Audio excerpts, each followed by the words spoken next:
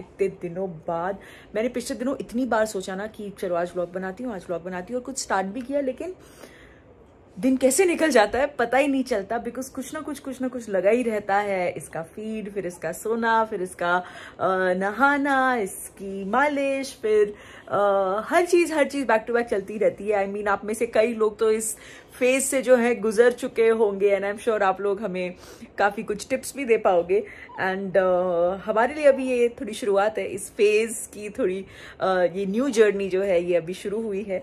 So so, use to हो रहे हैं अभी भी ऑब्वियसली बिकॉज़ uh, uh, इसके हिसाब से जो है पूरा रूटीन अभी हमारा बन रहा है। ये फ़ीड लेके सोता है तो मैं भी इसके साथ uh, दो तीन घंटा सो जाती हूँ। फिर ये उठता है तो मैं उठती हूँ लाइक दैट मैंने सोचा कि चलो कुछ तो स्टार्ट करूँ और फिर so many things to share so many things to talk तो शुरुआत तो करते हैं। इट्स इट्स ऑल फन मतलब uh, इस तरीके से अपने लिए टाइम ना मिलना भी उसमें भी एक अपना ही मज़ा है।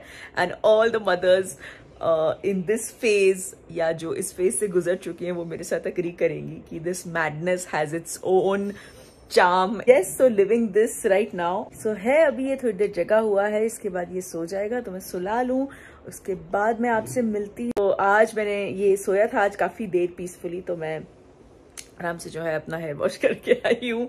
But it's it's all fun मतलब इस तरीके से अपने लिए टाइम ना मिलना भी उसमें भी एक अपना ही मज़ा है। सो so, दीपिका कक्कर ने अपनी रूटीन शेयर की है अपने बेबी बॉय रूहान के साथ और उनका कहना है कि ये लिटिल टफ हो जाता है मेरे लिए लेकिन ये भी मज़ा है। ये भी फ़न है अपने लिए टाइम निकालना और अपने बच्चे की टेक केयर करना।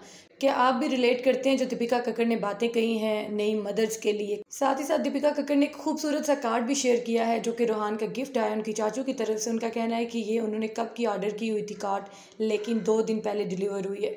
सो आप भी लिखिएगा क्या वाकई आप रिलेट कर पा रहे हैं दीपिका कक्कर की इस रूटीन से? कमेंट सेक्शन में ज़रूर लिखें। मिलते हैं किसी और वीडियो में, तब तक के लिए हाफिज़।